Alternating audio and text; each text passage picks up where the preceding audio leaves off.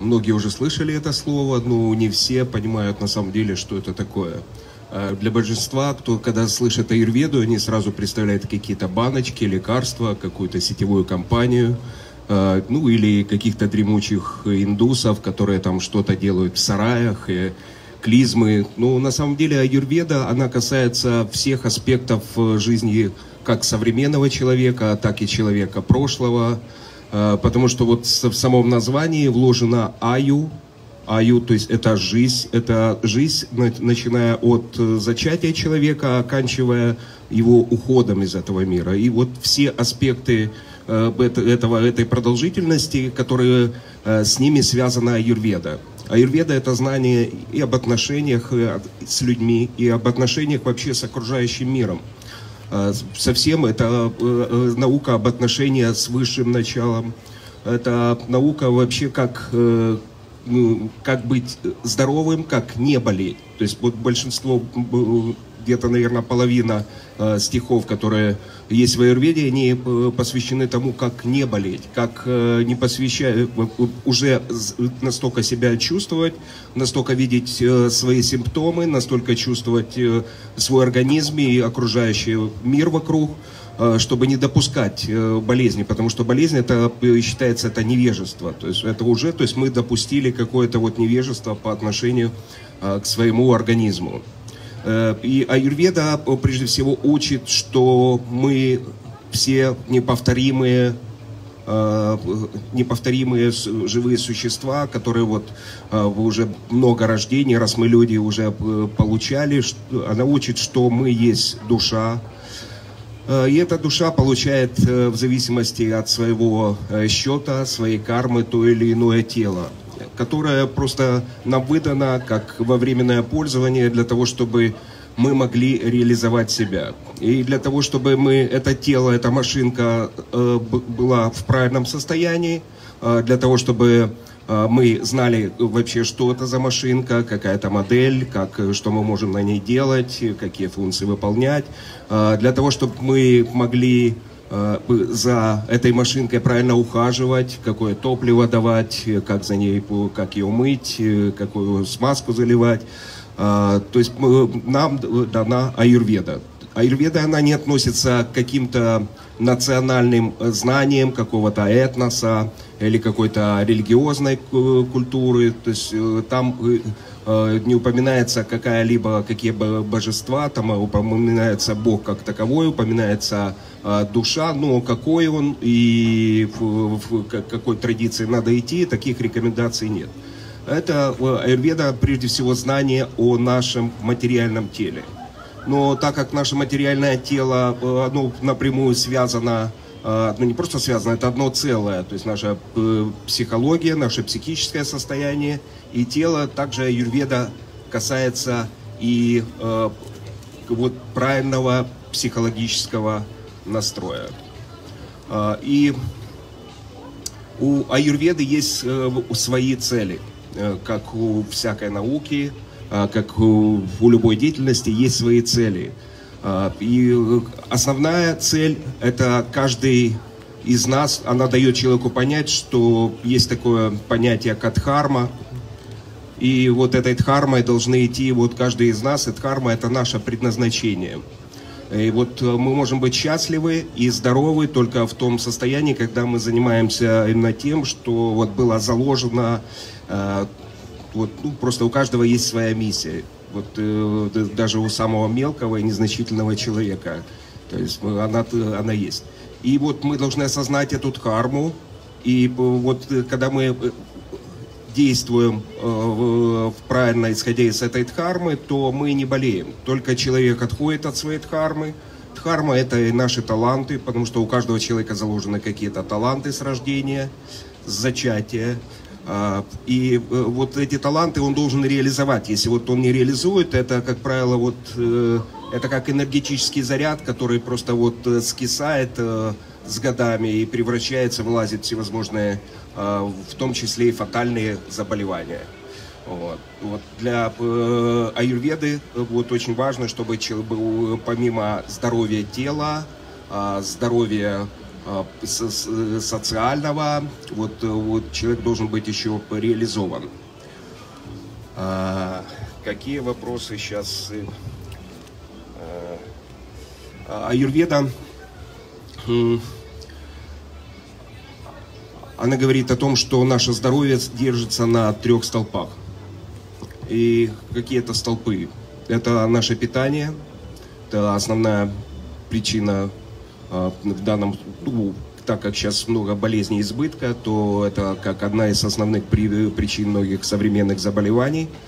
А также э, это то, чем мы можем выровнять. Э, лучше всего э, действует. Это мы принимаем три раза в день, и это вот э, мы не забываем. Мы можем забыть э, лекарства, но мы не забудем покушать, как правило.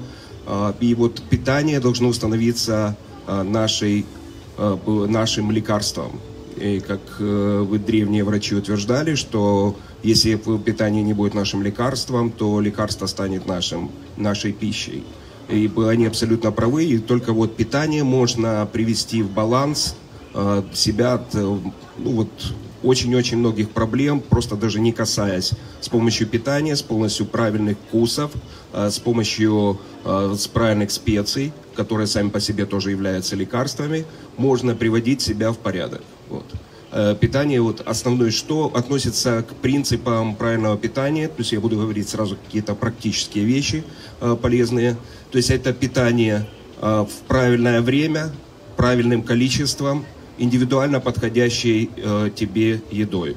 И так как мы все разные, все неповторимые, то, как правило, наш, наше меню тоже должно быть неповторимое. Мы, мы должны его делать, исходя из нашей Конституции, вот, нашей Доши, э, исходя из времени года, из нашего возраста, э, из э, вообще и погоды, как, какая есть, и вообще своего вот, в данный момент психологического настроя, своей вот физической силы. И вот исходя из этих факторов мы должны выстраивать себе пищу. Вот если мы будем так выстраивать себе пищу и чутко чувствовать вот э, избыток чего у нас в данный момент там э, застой, что у нас больше сейчас холода или жара, и как вот пищей э, вот это можно э, балансировать. Вот просто еще раз повторюсь, что вот одной только пищей, ну вот тех йогов, которых э, я знаю, э, одни, э, одной только пищей и упражнениями они себя приводят в полный порядок от многих-многих проблем. То есть эти люди, как правило, они вообще не болеют. Но Господь милостив настолько, что Он дал не только здоровье йогам, а Он дал и простым людям. И простые люди, просто освоив даже такую науку, как э, наука о вкусах, которой уделено э, важное место в, в науке аюрведы, они смогут Э, балансировать э, своим организмом, э, управлять им очень экологично, вкусно, правильно, потому что вкус это не только отпечаток на языке, какое-то вот соприкосновение с нашим чувством, а вкус это определенная субстанция, это определенная энергия, которая действует на весь наш организм, все его системы и направляет в нужном э, направлении. Какие-то вкусы могут нагреть организм, какие-то могут его охладить, а какие-то вкусы могут ему дать энергии, какие-то наоборот успокоить. Э, то есть это э, очень сильные, в том числе и целительные субстанции. А, это еда, что еще вот по поводу еды хотел сказать, это должна быть свежая еда, поверьте, и это я то, что вот э, практикую сам, то есть э, то, что пробовал и так, и по-другому.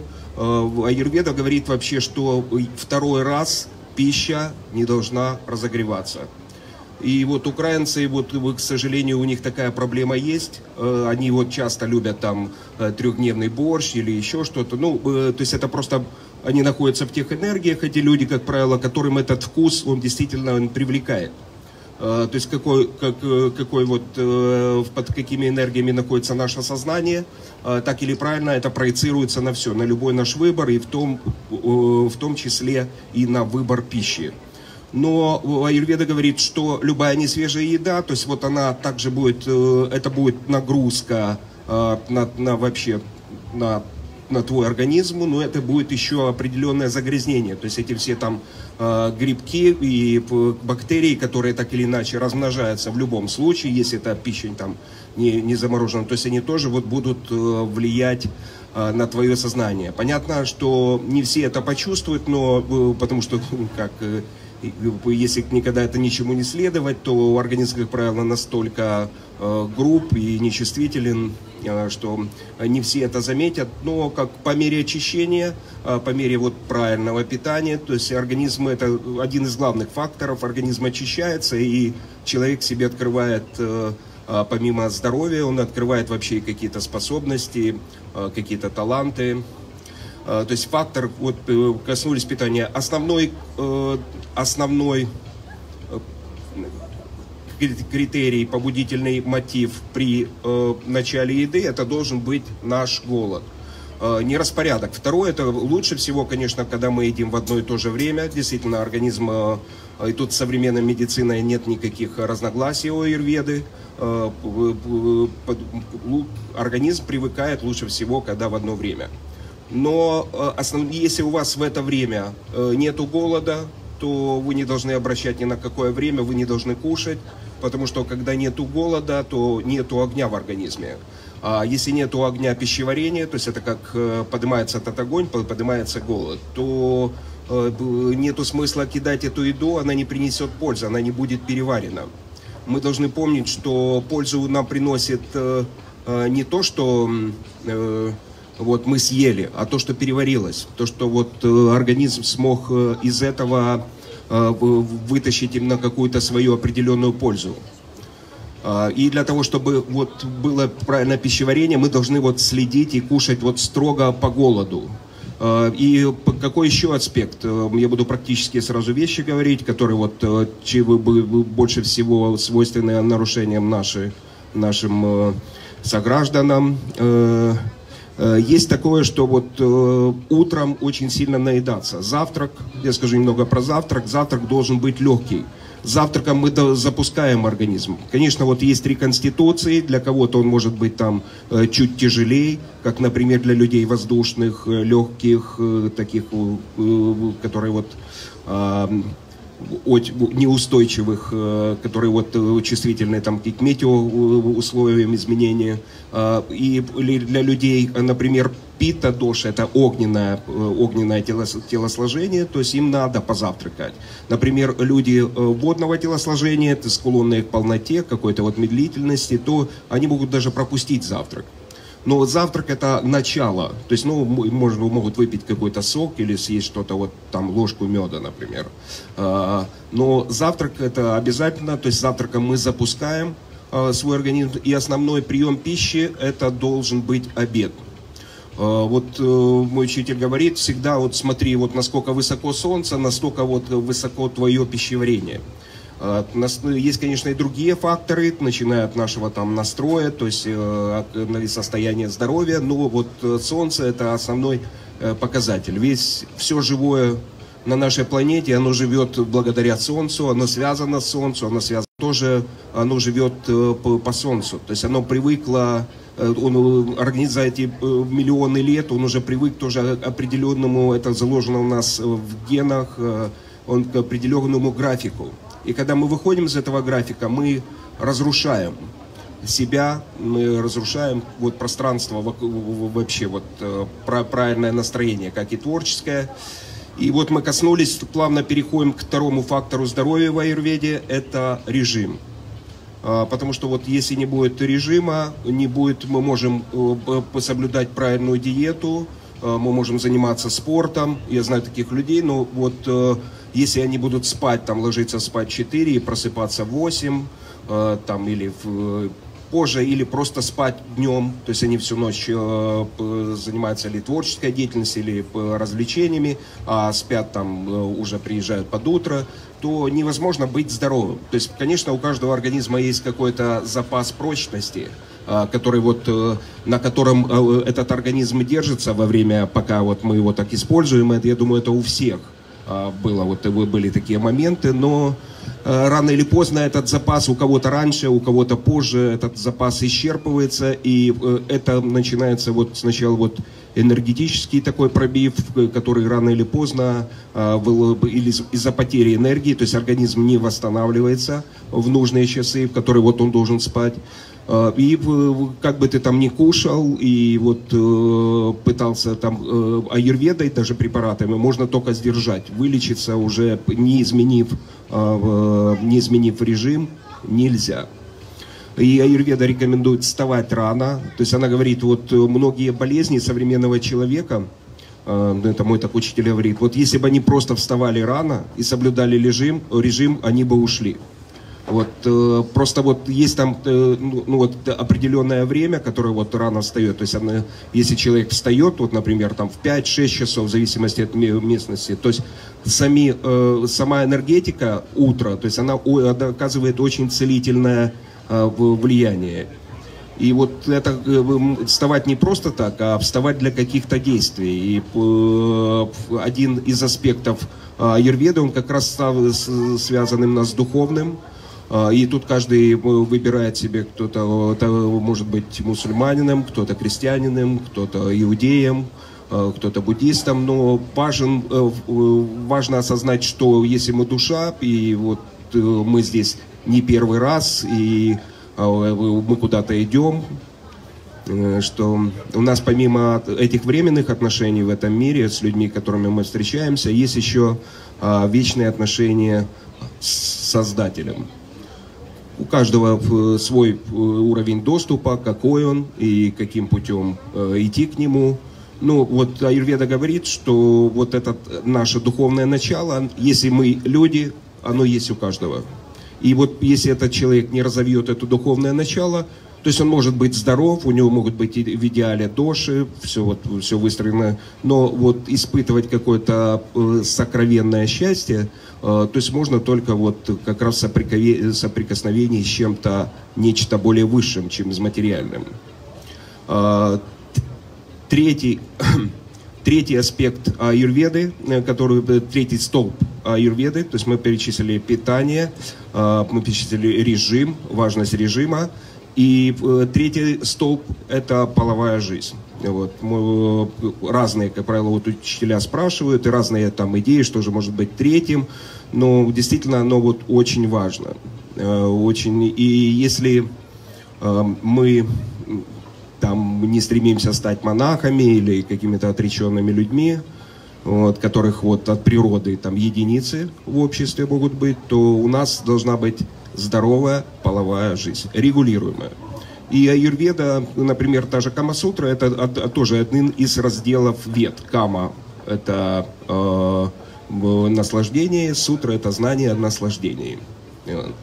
И э, аюрведа, э, наоборот, э, человека дает именно, чтобы вот он, если он этим занимается, чтобы он в этом раскрылся, чтобы он знал, как подготовиться, вот что скушать мужчине, что скушать перед этим женщине, какой лучший массаж, каким маслом намазаться. То есть вот тоже вот есть эти вещи, есть в аюрведе, как, как подготовиться к зачатию.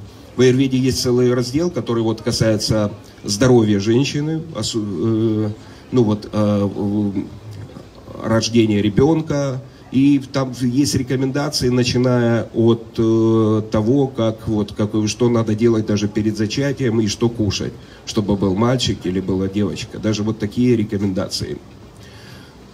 А, какие аспекты? А, так, после дхармы. Э, то есть человек, когда осознал свою дхарму, э, он должен именно артха, то есть э, э, аюрведа говорит о том, что человек должен жить в достатке. Вот. То есть и мужчина, э, который вот берет на себя обязанность, должен в основном обеспечить этот достаток. То есть это по ведической культуре это не обязанность женщины. Ну, мы знаем разные ситуации. То есть сейчас э, это просто как рекомендация. То есть мы, мы, даже я не, не следую там на 100% всем аюрведическим рекомендациям, потому что там приходится жить в самолете, много путешествовать, там, э, иметь э, неправильный график. Ну, это вот как рекомендация. Вот. И аюрведа, она, когда ты на своем месте, когда ты спокоен, когда ты высыпаешься, когда ты полон энергии, э, когда вот у тебя, ты умеешь планировать время – когда у тебя здоровое тело, когда вот тебя не отвлекает разное вот что такое болезнь, это то, что забирает силы и отвлекает нас, то ты более, более эффективен в достижении своих и материальных целей. И вот я поэтому считаю, что вот каждый человек, он должен уделить там несколько месяцев своей жизни для того, чтобы изучить аюрведу, а, понять эти знания, понять, э, что это одни из самых важных знаний, которые мы можем получить. А, познай себя. Я люблю говорить, это не только а, познай свою вот какую-то возвышенную духовную природу, какую-то вот какие-то очень там сокровенные религиозные вещи. Это познай просто себя как организм даже, познай вот, э, вот с принципы работы этого тела, познай вот как работают эмоции, как вот как ты вот э, что вообще что ты такое, что ты есть именно, что это за машинка, которая тебе дала для достижений э, твоих целей. И очень важно понять вот просто один из аспектов, который вот социальный аюрведы, то есть, что если мы будем даже здоровы и духовны, но если у нас не будет а, какого-то определенного достатка, если там жена нам будет выносить мозги на то, что у нее там нет э, каких-то необходимых вещей или мы не сможем обеспечить в нужном, на нужном уровне своих детей, то это будет э, также выносить нам мозги, и это будет отрицательно влиять на, так как и на наше психо, э, психологическое состояние, так и на наше пищеварение, на все эти вещи. Так что вот э, тут очень практично и понятно, почему Аюрведа рекомендует также вот э, быть успешным. А, третье назначение Аюрведы – это кама, то есть вот наслаждение – должны быть в, в жизни человека. Э, мы не есть, э, мы просто должны их все регулировать. И это будет наслаждение и от э, еды, и от, которая здоровая и правильно подходит нам, и от путешествий, и ну вот от всего, от всего то, что вот на каком на самом уровне, на самом деле, вот я снова говорил, что наш уровень развития духовного, как правило, и э, нравственного, интеллектуального. То есть вот он э, поднимает и спектр э, наших интересов. Вот. И у каждого человека они э, свои интересы. И Аюрведа говорит, вот надо понять свой уровень и э, не пытаться еще имитировать. И вот человека очень можно тонко понять по тому, как вот от чего он получает наслаждение, что вот э, для него не просто как зарабатывание денег, что доставляет ему удовольствие.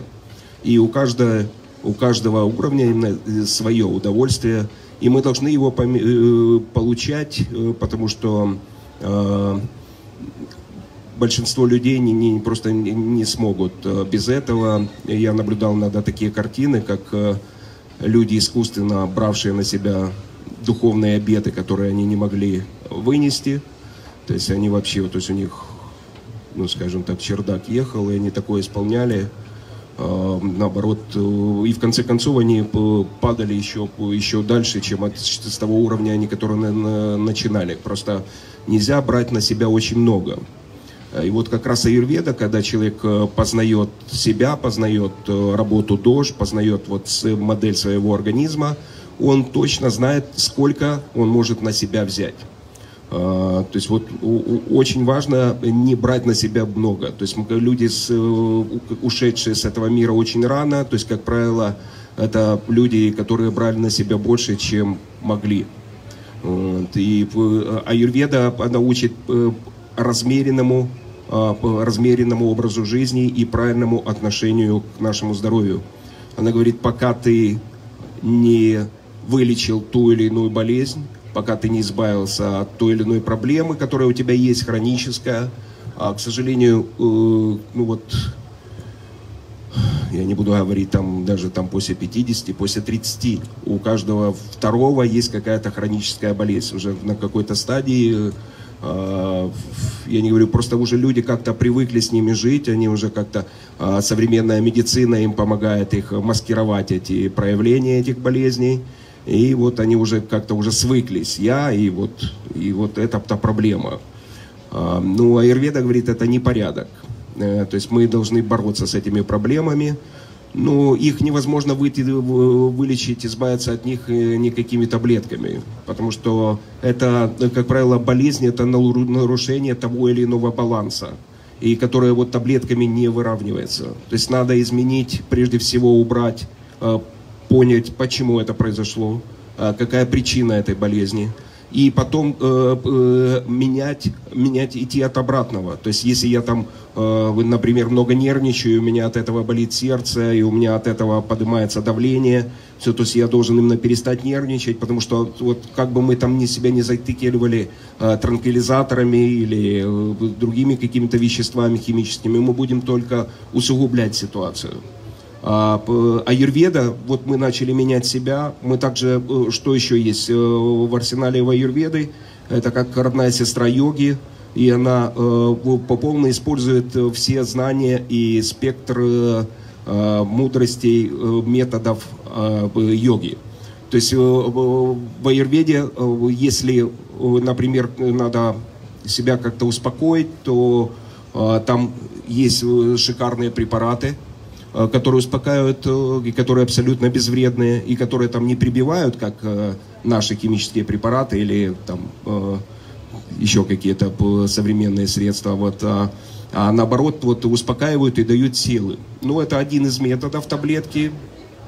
Например, успокоиться также можно просто подышав, успокоиться можно также просто сделав какую-то асану, какое-то упражнение – Э, успокоиться можно, например, пополоскав ртом масло, э, масло, э, маслом рот.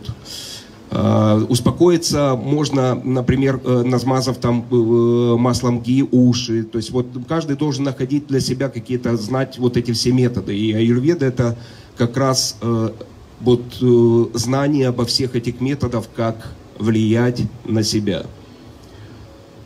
В своем арсенале аюрведа использует все. Есть э, такая не легенда, это э, реально исторический э, рассказ, когда Вабхата, это великий мастер аюрведы, он леч... учился у своего учителя, и когда учитель окончил курс, он сказал, каждый из вас, вот идите в разные стороны и принесите мне, вам задание принести принести то, что не может использоваться в аюрведе.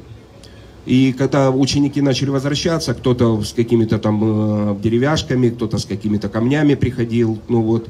И когда пришел в конце Вабхата, то он пришел без ничего пустой. Он говорит, учитель, я не нашел ничего, что э, нельзя использовать в аюрведе. То есть вот все, что нас окружает, имеет какие-то качества, какие-то свойства, и все это можно использовать в аюрведе. Для этого первое надо знать себя, надо знать природу болезней, и надо знать именно, как правильно на это все влиять. То есть знать свойства продуктов, э, все, вот, все, что вот мы кушаем, оно также имеет какие-то вкусы, оно имеет также какие-то вот, что-то может быть горячее, что-то холодное, что-то может быть терпкое, что-то вот кислое. То есть вот и все это влияет на наше сознание, а, также и на психическое состояние. Друзья, может будут какие-то вопросы?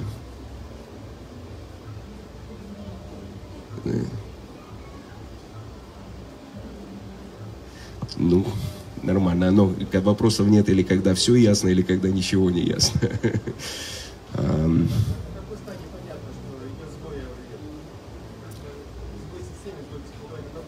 Сбой. Смотрите, вообще в аюрведе есть э, шесть стадий болезней. Вот, ну, там в разных источниках. Есть, одни описывают четыре, вот, и э, современная медицина, она понимает, там есть вот э, э, зарождение болезни, там есть накопление, и вот э, и потом, когда уже болезнь она выходит из своего места, когда она распространяется, э, то есть вот когда она становится э, видимо прибору, э, то есть на этой стадии современная медицина начинает лечить. Э, то есть, как правило, у нас э, болезни уже определяются в запущенных стадиях. Почему вот э, много, много и самых фатальных э, проблем, это они как раз вызваны то, что вот поздняя диагностика. И аюрведа, вот чем выше уровень мастера, тем э, быстрее он может э, э, определить и более правильно определить и заранее определить те или иные проблемы.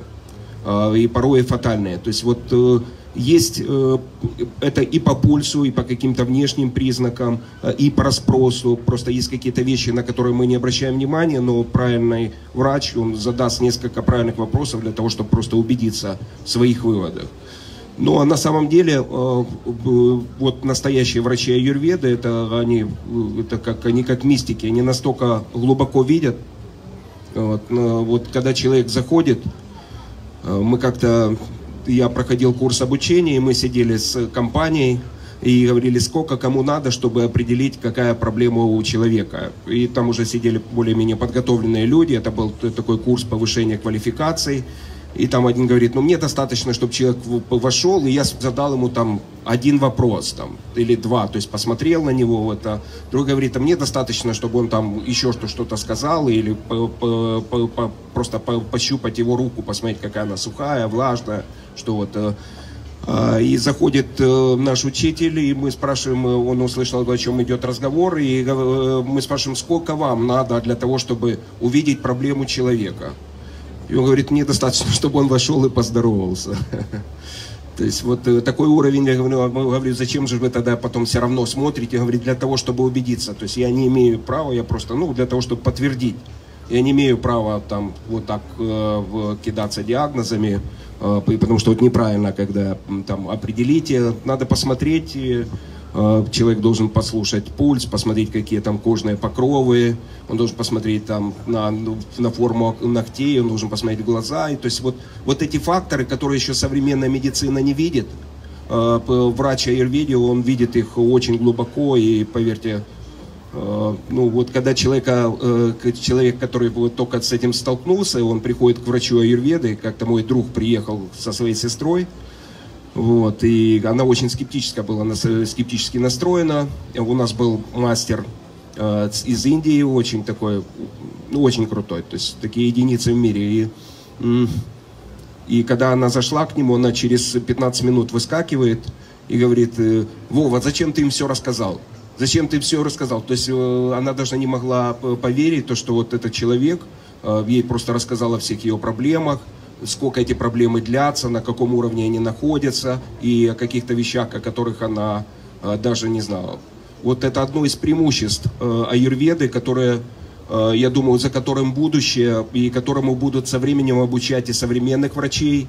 И я уверен, что в будущем в Украине будут как и врачи современной медицины, так и врачи аюрведы, как есть сейчас в Индии, и чей уровень здравоохранение на, на очень приличном уровне. Там говорят нищета, все, это, есть там у нищие штаты, но а так это они уже у них зарплаты уже выше, чем в Индии, то есть чем в Украине в Индии. Вот. Вот э, Ольга Богомолец э, я с ней поддерживаю отношения, она рассказывала такое, что вот в Южной Корее там э, вообще два вида вузов, традиционной медицины, то есть на самом деле э, та медицина, которая у нас считается нетрадиционная, э, это есть на самом деле традиция. Э, но в чем и тот же ВОЗ в 1972 году он признал, э, признал три традиционных медицины, это тибетская медицина, китайская медицина и аюрведа. То есть это на основании чего? Потому что э, традиция это то, что это знания, которые передаются из поколения в поколение, и то, что уже проверены. Почему они передаются? Потому что это проверено. А какая традиция есть у современной медицины? То есть у них нет традиции. То есть то, что происходит, это происходит сейчас эксперименты, продолжаются эксперименты. И у меня много знакомых врачей, и вот э, он вот 20 лет, например, в практике, он говорит, то есть вот 10 лет назад эта проблема лечилась по-другому, а 20 лет назад совершенно по-другому. Я говорю, вот увидишь, пройдет 10 лет еще, и так как лечишь ты сейчас, будет признано не так. Потому что э, этот безличный протокол, это просто нарушение здравого смысла, не э, относясь к человеку, к пациенту, как э, прежде всего носителю неповторимой конституции, неповторимого телосложения, с неповторимым метаболизмом, с неповторимыми вот, жизненной силой, качествами, работой иммунной, эндокринной систем, всей гормональной системы, вот, то не подходя к как индивидуальности, невозможно вылечить. Вот это основное отличие современной медицины, то что э, строго, строго, строго индивидуальный подход. Исходя снова из таких факторов, индивидуальная конституция это первое, возраст, время года, э, время суток даже, то есть какая погода. Из всего этого назначается терапия. Э, потому что вот э, все э, болезни, которые есть, включая там и серьезные, они имеют какую-то природу. И это подтверждает и тибетская медицина, и китайская. То есть там нет, там есть болезни инь, есть болезни янь, то есть есть болезни холода, есть болезни жара. И вот для того, чтобы э, побороть ту или иную болезнь, надо воздействовать чем-то противоположным. Сначала надо определить, что у тебя, э, и вот воздействовать, э, начиная от продуктов, э, оканчивая препаратами. Что еще хотел сказать, что в своем арсенале аюрведа использует в лечении э, ну, тысячи и тысячи всевозможных препаратов, э, в чей возраст, чьи, которые были разработаны, они были переданы как, э, как откровение э, великими лекарями, которым тысячи и тысячи лет. Понимаете, ну, вот посмотреть, у нас есть там лекарства, которые, рецепты, которые продержались там хотя бы 50 лет.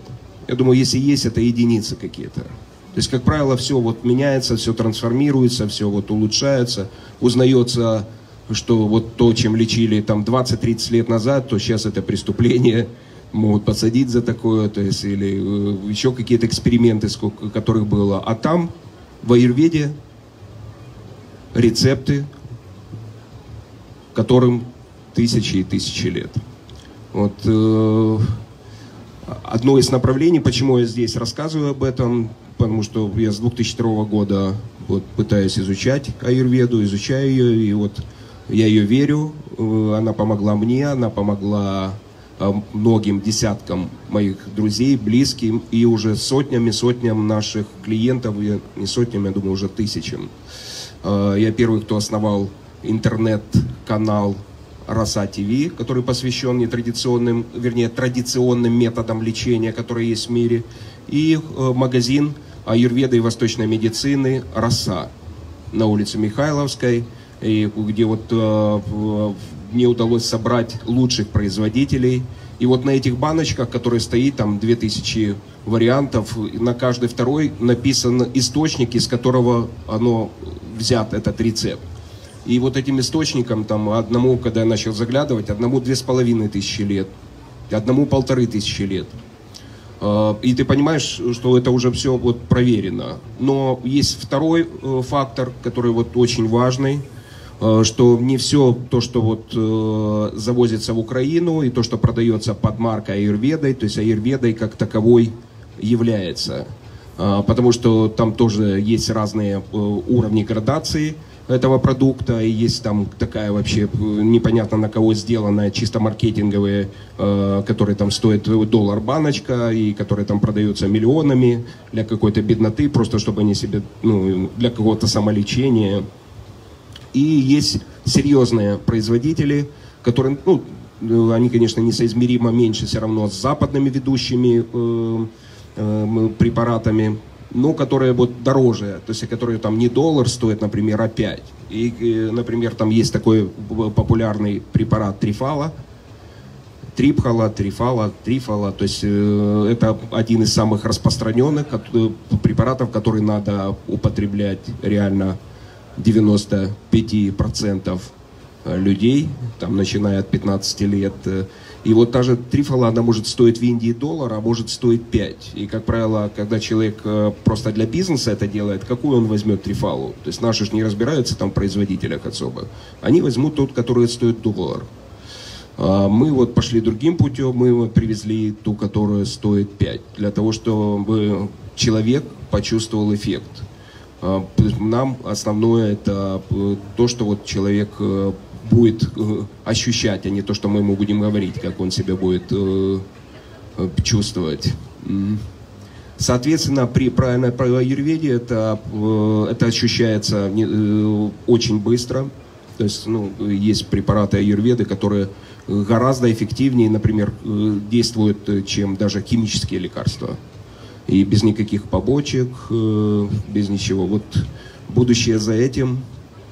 И вот мы идем этим путем. Какие-то, может, еще будут, друзья, вопросы?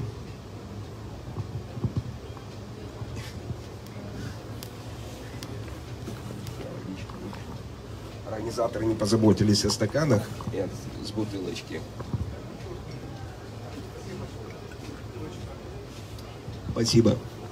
Учите аюрведу, заходите на интернет-канал в Ютубе. Э, у нас есть представительство в Ютубе, э, то есть там сотни видео по аюрведе просто для себя. Поймите, как, как свою жизнь сделать более комфортной и счастливой.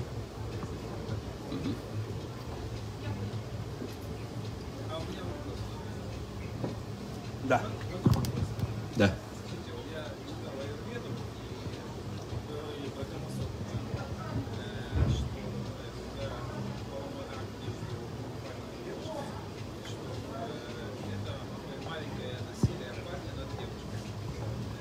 Насилие? Нет, я такое сказал. Я сказал, что насилие? Не, вы не а, нет, нет. А, вы прочитали. Да. Э, вот насколько важно, насколько важно вообще вот получать знания из истинных источников. А, потому что вот, э, знаете, как и в Аюрведе, то есть пространство, постсоветское пространство, колесят разные э, деятели, такие туристы, вот, которые вот рассказывают, при, приезжают и рассказывают там э, про аюрведу вот, э, и какие-то свои фантазии. И потом вот, например, такие люди приходят ко мне устраиваться на работу, я задаю элементарные вопросы, и они не знают вообще, ну, элементарных вещей. Ну, какие-то выдумки, чьи-то фантазии не знают. Вот, э, ну вот, может, это тоже было чье-то видение. Есть вот какое-то, есть э, истинные знания, то есть, которые записаны как э, изначальные. Это же аюрведа, есть Э, Аштанга Хридаям Самхита, Сушрута Самхита, э, Чарака Самхита. Это вот знание, как, вот, как Библия Юрведы. А есть всякие люди, которые вот уже трактуют или как-то комментируют. И вот в, в, знание в знаниях, которые вот истины, вы нигде э, не найдете, что вот должно быть какое-то насилие э, вообще над женским началом. То есть это наоборот, э, вот вы понимаете, это одно целое, это даже не то, что вот что-то вот э, э, доминирует. Понятно, вот в нашей материальной жизни, э, то, э, конечно, на мужчина, у него совершенно другие функции, у него совершенно другие обязанности, он должен быть вот э, э как я говорил, мужчина идет впереди и говорит, женщина идет сзади и молчит. То есть вот это в двух предложениях. Вот. Но, э, например, какое-то, если он совершает какое-то насилие там над своей женщиной, то он просто закрывает определенный поток. Вы понимаете, э, вот по вот я такие эзотерические вещи скажу, то есть, знаете, как вот инь-янь, как э, вот мужское и женское начало, как есть, например, там э, в Индии такое, как лингам, то есть это как э, э, такое фалоподобный, вот, э, и мужское и женское начало. То есть это все, э, оно гармонично, оно идеально, оно совершенно, когда оно вместе. И для того, чтобы э, вот вы почувствовали, например, э, себя максимально хорошо, Э, как э, и в плане здоровья, так и в психологическом. То есть вам надо постоянно быть вот, э, вот в этом контакте и надо постоянно быть в этом обмене с вашей прекрасной девушкой. То есть вы понимаете, также и она несет, то есть вот, вот в одной конституции вам будет, ну, с разными преобладает у вас одна конституция, вам будет достаточно комфортно. И вот должен быть какой-то обмен. То есть, например, и если вот в этом Э, э, то есть ваша удача, э, там, ваши, ну, вообще хорошая карма, она даже вот для бизнеса, она наполовину зависит от женщины. Вот я юрист, и мне раньше вот было такое вот, типа как несправедливо, там, когда суды, ну, я судебную практику читал, И что когда суды, что женщины там должно половина имущества. А потом, когда я начал изучать ведическую культуру, я столкнулся с тем, что вот карма, успех мужчины – это наполовину, это подпитка его женщины. Ну, просто вопрос во втором, что еще мало женщин, которые могут подпитать, э, в основном сейчас такие, которые, наоборот, от, отвампирят э, еще больше. И э, если тебе вот есть женский источник, который тебе дает вот такую подпитку, который тебе дает вот такое вдохновение, который тебя э, заряжает, который тебя успокаивает, то относиться с каким-либо насилием, ну, это, это если у кого-то какие-то вот именно личные предпочтения, то есть я не, не встречался, чтобы ни в одном истинном э, э, писании, чтобы вот где-то это было. А, то есть любое, э, любая сила, э, если э, женщине это нравится, мне кажется, ну, это, это, это хорошо. А если это не нравится, понимаете, есть, она будет себя чувствовать как-то скованно, и то есть она не, не сможет вас зарядить и сделать совершенный обмен. Так что...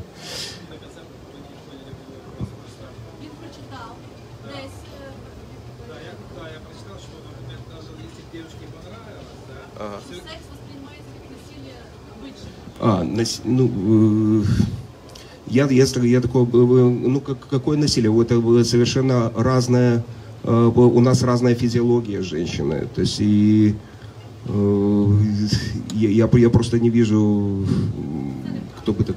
Да, это неправда. Да, да, да, да, да.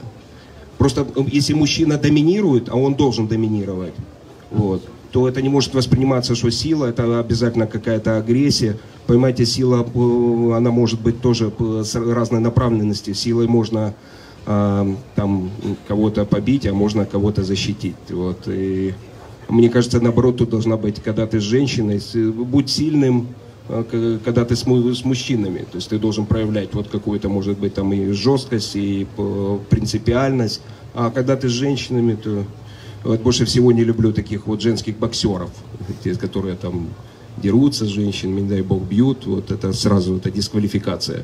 То есть у этих людей, как правило, вот я из жизненного опыта, я смотрю, у них сразу закрывается бизнес, у них все рушится, у них рушатся отношения, и то есть вот жизнь идет кувырком. Вот. Это вот из практики. Ну, если женщине это нравится, то да ну или в легких воспитательных целях. Вы понимаете, все, все вот, э, все индивидуально. Э, э, ну, есть такой принцип, один из егических, это ахимса. И вот эта ахимса, она, э, она прежде всего не только питания касается, что вот, например, мы там должны быть там желательно, что мы были там вегетарианцами, э, там э, еще какими-то принципами. Мы не должны никому наносить насилие. И э, мы должны быть, когда мы живем этими принципами, мы будем чувствовать. Может быть, в данный момент э, э, женщине понравится, если ее щелкнут. И я такие тоже случаи знаю, даже из личной практики. Вот. Но если мы чувствуем, если мы ее любим, мы чувствуем, понравится ей или не понравится. Вот если ей не понравится в этот момент, ну, значит, ну, э, ну это, это все мелочи. Мы, мы, мы, мы должны допустить, что иногда мы будем, будем делать ошибки. То есть жизнь это большая книга, э, в которой мы учимся, в которой мы иногда выигрываем, а иногда проигрываем. И, э, если нам, у нас такой побудительный мотив, то значит, может, надо его сделать. Дякую. Вообще вот в восточной культуре к женщинам на самом деле очень, очень такое нежное и трепетное отношение. Некоторые считают, что вот там на Востоке она сидит дома, а он там не позволяет ей никуда, вот она там зашуганная. Есть, конечно, там в мусульманской культуре такие загоны в каких-то моментах, но Э, в ведической культуре там, там этого нет, там просто женщина находится под защитой, и муж ее защищает, чтобы она, чтобы она не работала, чтобы она э, могла заняться собой. чтобы она могла заняться детьми, чтобы она могла заняться правильным питанием, потому что, ну, как я говорил о факторах здоровья, то один из факторов это наше питание, а женщина это вот это то, что дает нам это питание. И вот э, я бы дополнил, что вот лучшее питание это которое приготовлено для нас любимым человеком. А близким лучшее питание это которое приготовлено с какими-то чувствами. Вот. А потому что это тоже передается, это не только там э, витамины и микроэлементы, а питание – это те эмоции, которые испытывал человек во время его приготовления. Это такая белая магия, и я думаю, а, люди наблюдательные, чувствительные, им даже это не надо рассказывать, они это чувствуют. Иногда у меня было, что там покушаешь что-то в ресторане, и там, не знаешь, места себе не находишь, а потом понимаешь, что это просто вот тебе передалось настроение этих людей, которые, которые это все готовили.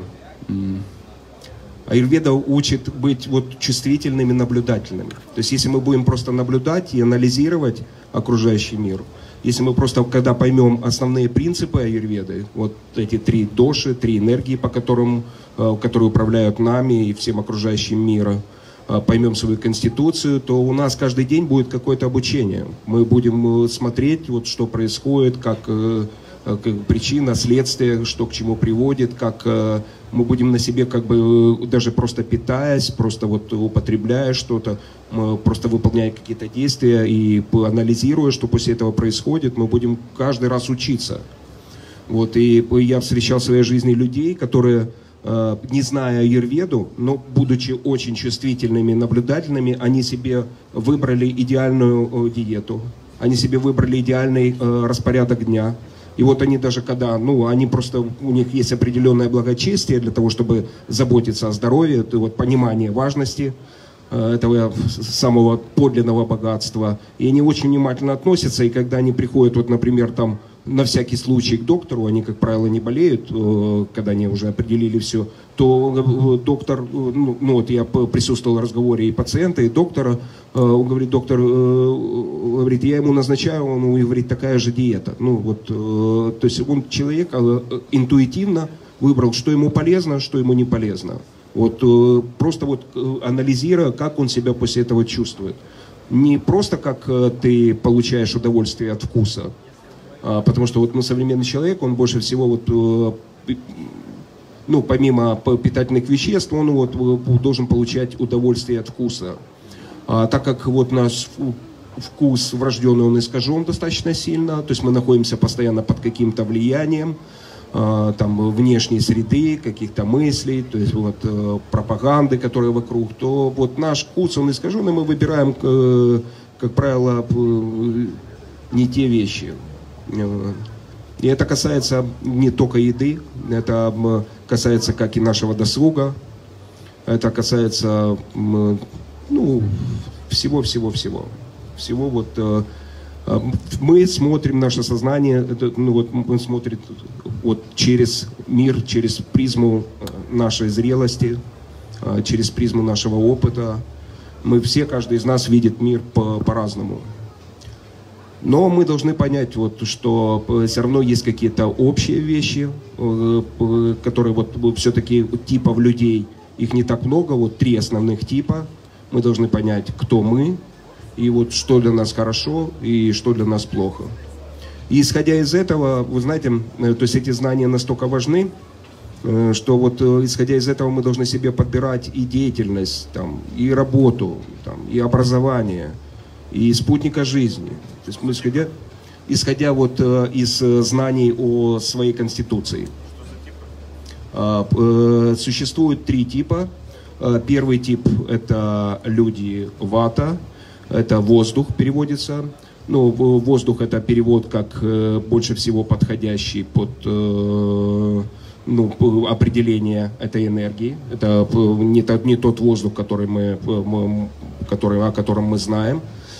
Э, это люди худощавые, это люди склонные к сухости, э, вообще качество э, и она, она легкая. То есть уже когда с человеком проходят те или иные изменения, то есть мы можем понять, вот под действием какой энергии мы находимся.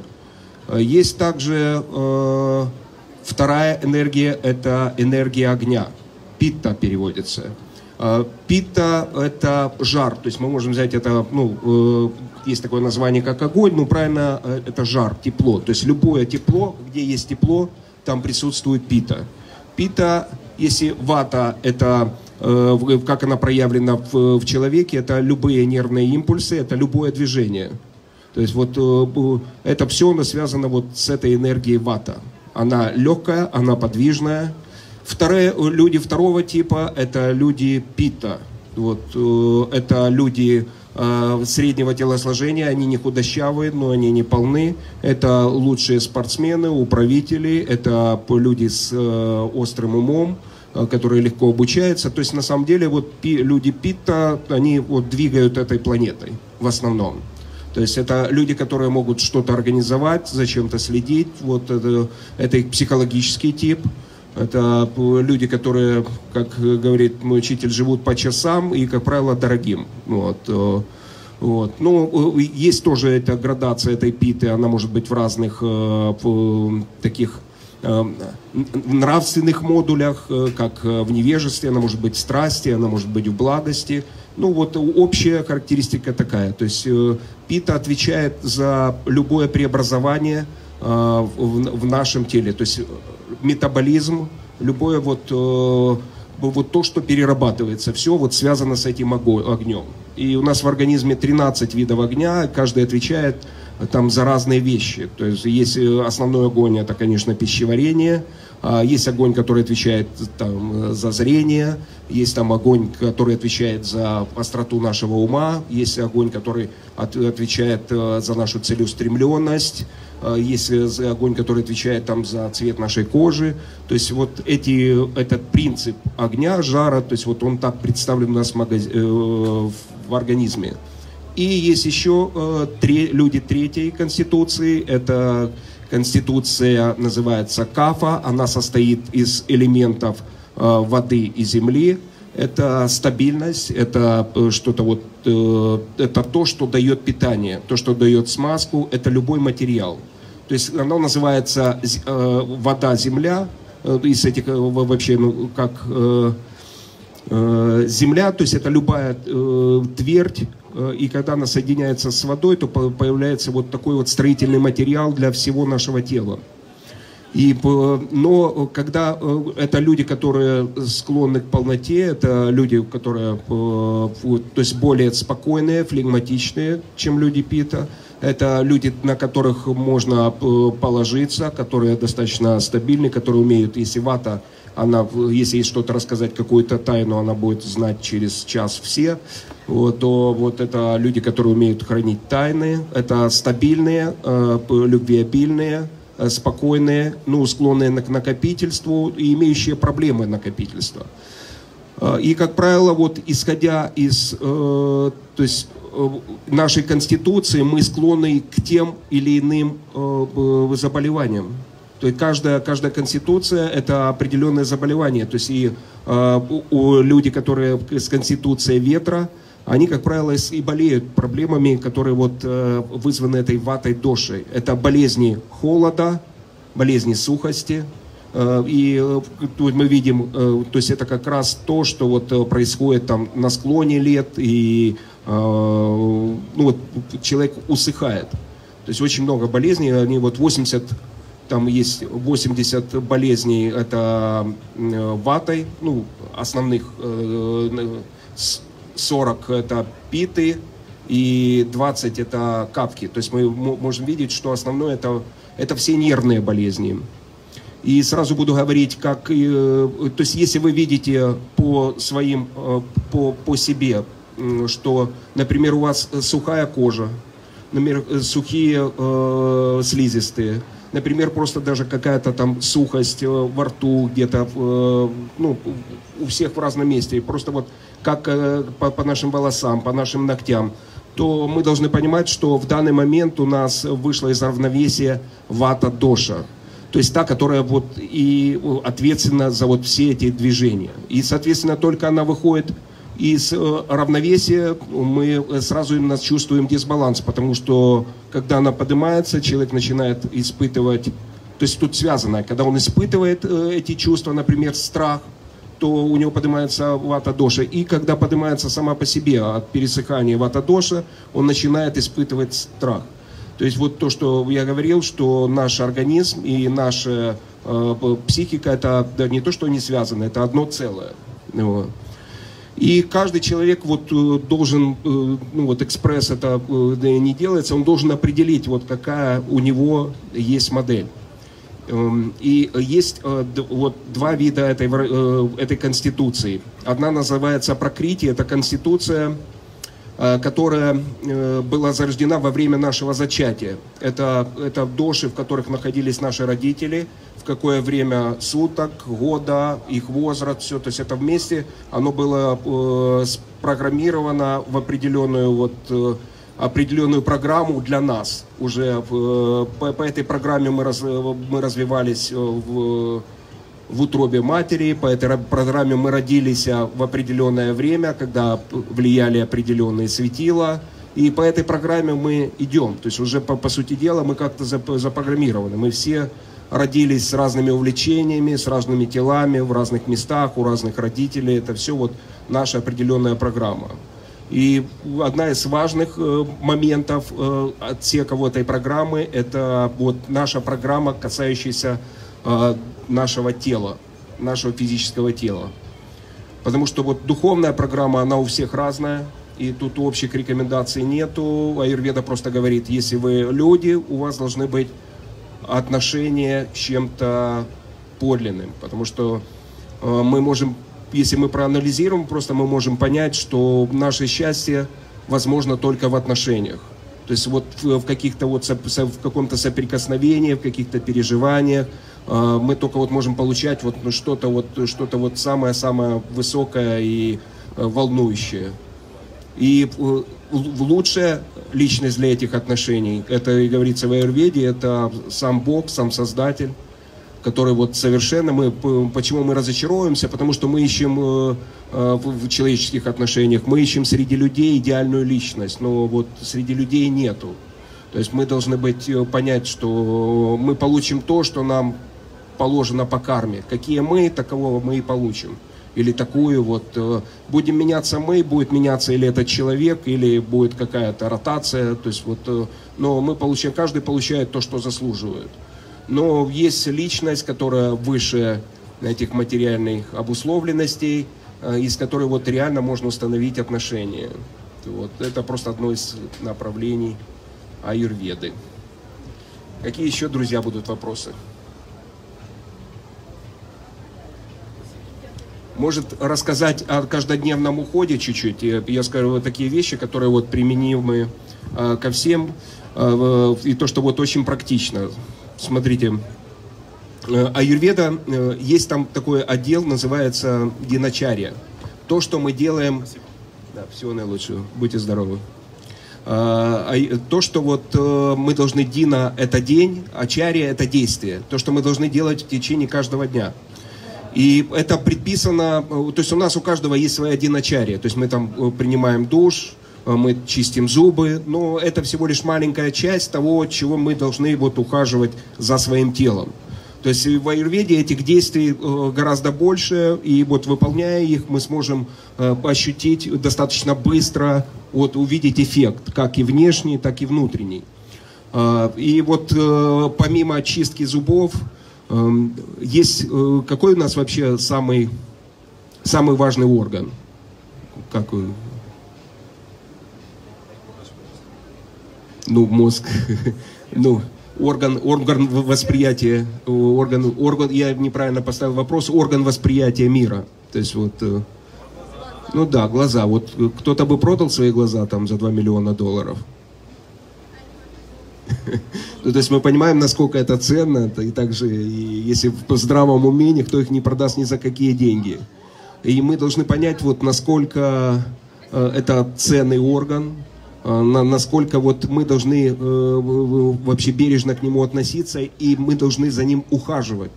То есть у нас нет совершенно культуры ухода за глазами. А глаза, это, э, которые они нуждаются, они работают чаще всего, ну, они работают постоянно, они постоянно может туда, так как мы живем в такой экологии, там попадает какая-то пыль, какая-то гадость, которая вот э, очищается. И мы должны глаза, ну, как минимум мыть, как минимум холодной водой каждое утро.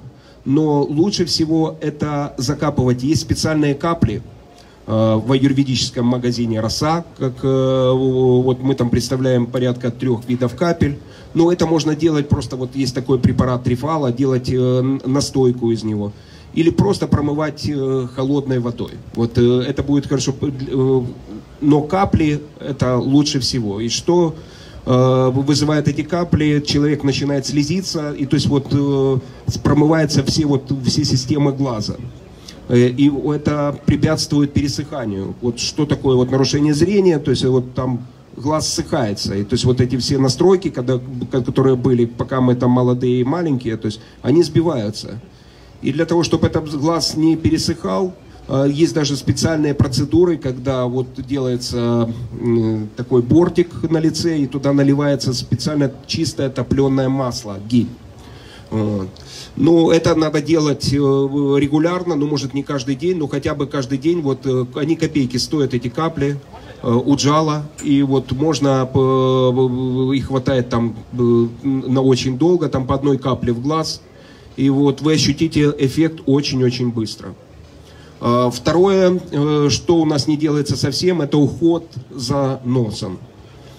Каждый день мы пропускаем через эти две ноздри там тысячи, десятки тысяч литров воздуха. То есть это вот оно все пересыхается. Через нос мы контактируем с этим миром. Мы, то есть так бы жизнь была бы не, неполноценна. Конечно, это не глаза, но э, лиши нас обоняния, то сколько приятных вещей э, мы, мы сразу именно теряем. И вот за этим прибором также надо ухаживать. И лучше, э, вот мы говорили о вата-доше, которая вот э, сухостью Э, своей славится. Вот человек, когда взрослеет, стареет, у него повышается эта стуха, сухость, и эти органы, они просто пересыхают, как пересыхают глаза, о которых я только что говорил, так и пересыхают все другие рецепторы, э, которые вот у нас также пересыхают и э, органы слуха. И для того, чтобы этого не случалось, для этого нужна постоянный, постоянный уход, постоянная смазка. И лучшая смазка, которая вот доступна нам всем, это вот для носа это кунжутное масло. Есть отдельно э, масло, которое вообще специально для этого сварено, называется анутаил, которое связано, сварено там из 100 э, различных э, лекарственных трав. То есть оно подходит еще лучше, оно вообще очищает.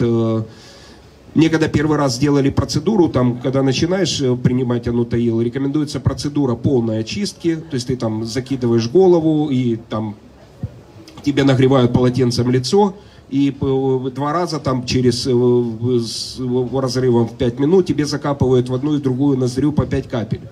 И ты лежишь, и вот э, я когда встал, то вот у меня вообще вытекло полстакана каких-то соплей, хотя не было насморка. Вот. То есть откуда-то внутренних пазух, то есть их нагрели, эти масла, они их э, вы сделали более жидкими эти все вот скопления, которые были в пазухах, и они все вытекли. И, и вот когда я вышел на улицу, я вообще, ну, вот это было место, правда, замечательное, но вот я вышел, я, вау, просто какие запахи. То есть я понял, до этого мой нос практически не работал. То есть он работал, но это было совершенно не тот уровень. И вот для того, чтобы вот э, воспринимать мир также вот о, своими обонянием, то есть мы должны за ним ухаживать. Э, третий э, момент, это касается тех же ушей. Тоже вот э, есть специальные капли для ушей, то есть для того, чтобы наш слух не, со временем не ухудшался. И мы можем спросить у современных врачей, то есть что такое, почему понижается, например, слух. То есть происходит вот дистрофия, атеросклероз сосудов, то есть это, это проявление сухости. И если мы будем вот капать туда маслом, правильно подобранным, то вот это проявление сухости можем остановить. Вот э, как-то моему учителю задали э, там э, вопрос, вот а что такое, как понять свое здоровье э, лучше. Он говорит, здоровье, помимо того, что вот у тебя не болит, то это какие-то эмоции, какие-то эмоции и насколько остры твои чувства. То есть здоровье – это острота наших чувств. Почему мы должны э, поддерживать ухаживать за своим э, э, телом? Потому что через него мы воспринимаем этот мир. И через него вот мы почувствуем, вот в полной, в полной мере можем почувствовать, увидеть, увидеть все тонкости. Э, понимаете, я вот, э, я долго занимался, с 2002 года занимался 15 лет искусством, пока в стране тут не начал. И вот э, когда начало падать зрение, в одной из э, таких неприятных моментов, то, что я вот не мог уже увидеть там те вещи, которые э, видел раньше в каких-то тонких работах, вот, издалека. Вот, и, то есть это э, падает, сразу падает э, острота наших чувств, падает уровень наших жизней. Вот, падает вот уровень нашей самореализации, то есть потока информации. И э, ухаживать э, вот хотя бы вот за этим, э, за, за носом, за глазами. Что еще? Когда вы будете закапывать нос, это будет благотворно воздействовать на всю область, начиная от наших ключиц. Это эти закапыванием носа лечат остеохондроз, Э, закапывание носом всевозможные спазмы, так как, так как и в голове. Закапыванием носом лечат морщины. То, э, есть вот это масло, которое вы будете закапывать, оно будет питать э, вот всю, вот всю голову. То есть оно влияет на всю голову. И это также хорошо и для сна. И вот мы плавно перейдем к тому, что вот рекомендуется всем, там, начиная там, с 25 Э, это э, полное умасливание. Вот я говорил о вата-доше, вата-доша, вот то, что она сухая, и э, вата-доша, старость – это сухость. То есть человек стареет, у него поднимается вата-доша, то есть он становится более легким, более сухим, более холодным. Они, как старики, начинают мерзнуть. Но этому надо противодействовать. Сухость – это основное качество вот старости. Но противодействовать надо не просто водой – Э, как э, у многих э, там каких-то системах очень рекомендуют, что вот простая вода, там ее надо пить там литрами и литрами.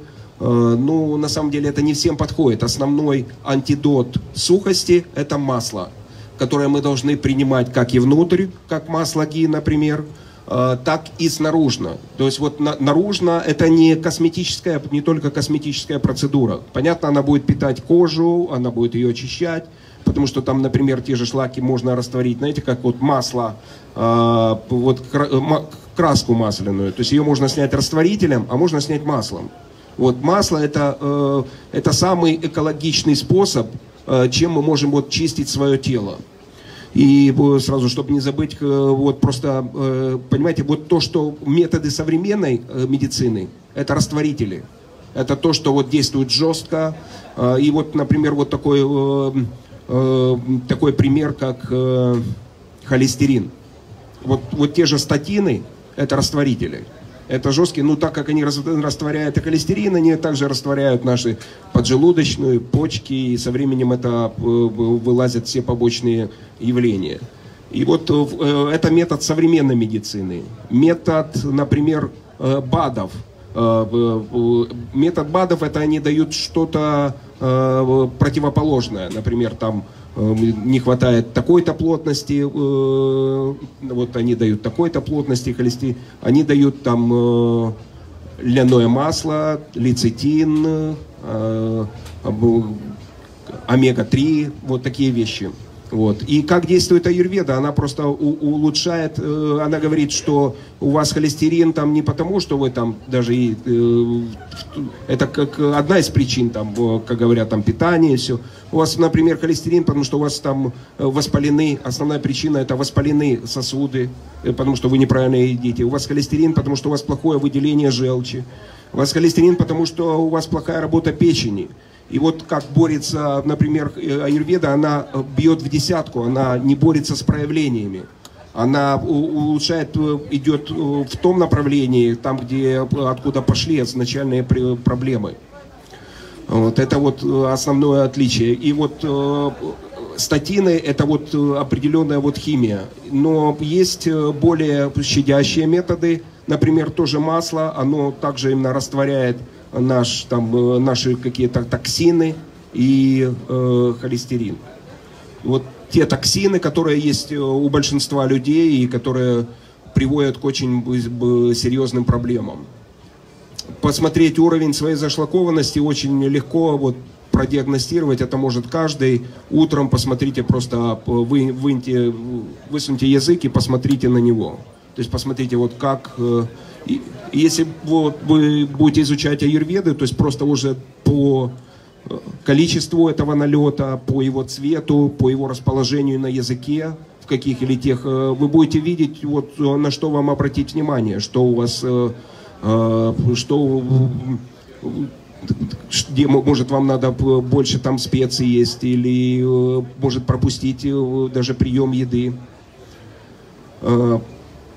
потому что один из, а, одна из главных причин множества заболеваний это как раз э, вот определенная может так ненаучно скажу, э, врачи это не любят, там зашлакованность, ну, вот, избыток эндотоксинов, вот, которые э, просто являются ничем иным, как непереваренными остатками пищи, и они вот похожи даже по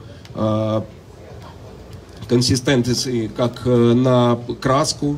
Они вот такие трудно растворимые, э, они уже там переработаны, но они не усвоены. Это вот э, неусвоенная пища. И просто организм на сдерживание, на переработку очень тратит очень много времени.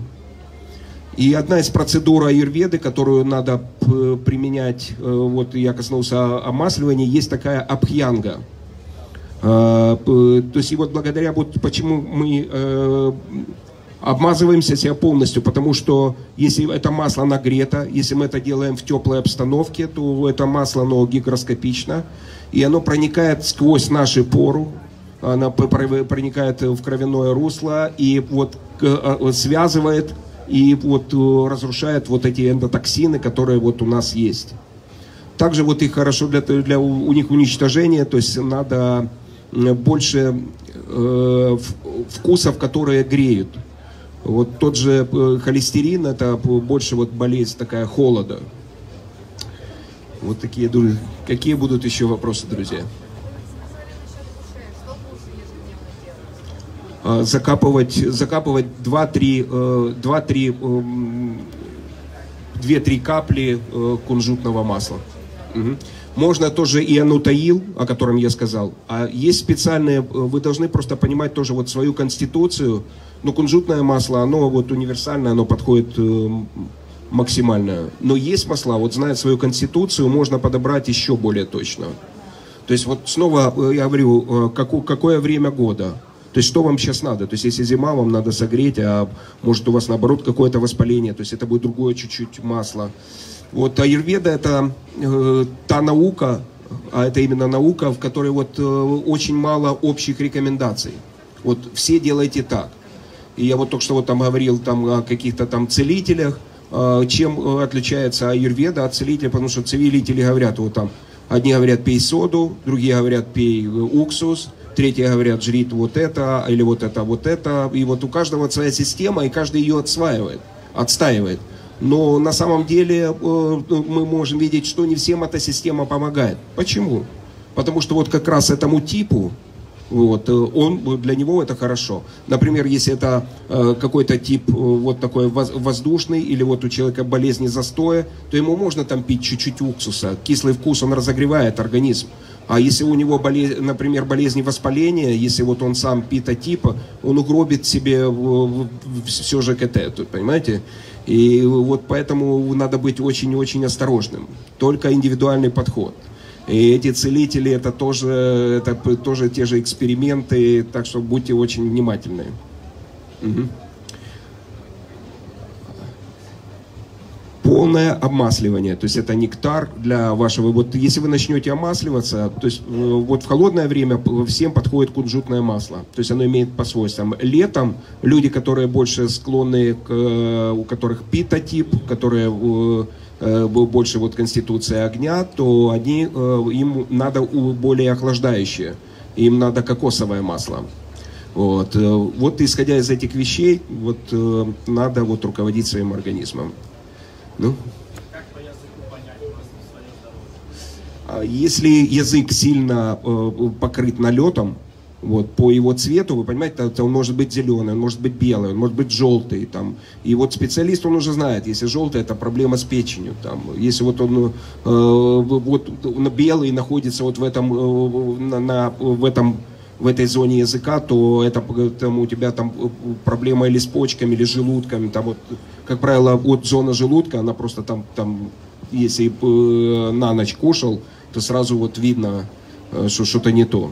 Если вообще есть идеальное, идеальное здоровье, у тебя нет вообще налета на языке. Ну вот, как, то есть, ну, я, к сожалению, не часто был в таком состоянии, но когда вот у тебя правильное пищеварение, когда у тебя правильное здоровье, что такое вот здоровье, это э, здоровье твоих э, тканей, правильное выделение, когда у тебя правильное э, и здоровое пищеварение. То есть вот э, когда у тебя все вот это выстроено правильно, то у тебя вообще не будет никакого налета на языке. Ну, ну или какой-то там минимальный. То есть если есть белый налет, значит это уже именно показатель тому, что этот же белый налет, он же он, он есть в крови просто даже нашей.